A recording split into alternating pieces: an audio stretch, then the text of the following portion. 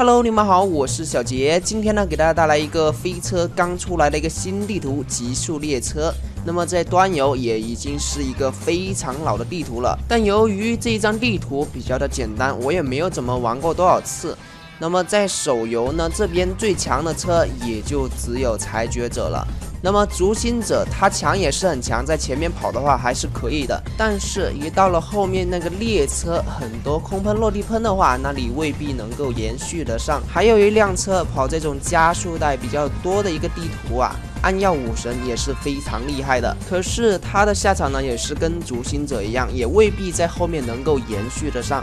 那么到了这个这个地方呢，千万不要去漂移，一定要保持在这个火车轨道里边，这个速度才不会跌。这里的星星加速带踩完也是立马要绕过来，这里我们要提前保留一管氮气，能够方便我们这边跳下来的时候释放一个 C W W。这里小飘过来开个 E C O，由于前面咱们已经保留了两个小喷，就可以做到平地 C W W 了。走上这个火车上面呢，延续氮气也是非常的轻松。每一节火车呢空隙比较多，所以在这里呢，我们就可以偷偷的留下几个小喷，这样就很方便我们直接的延续到终点了。对于这一张新出来的地图，你们都有什么看法呢？欢迎大家在视频下方评论出来哟。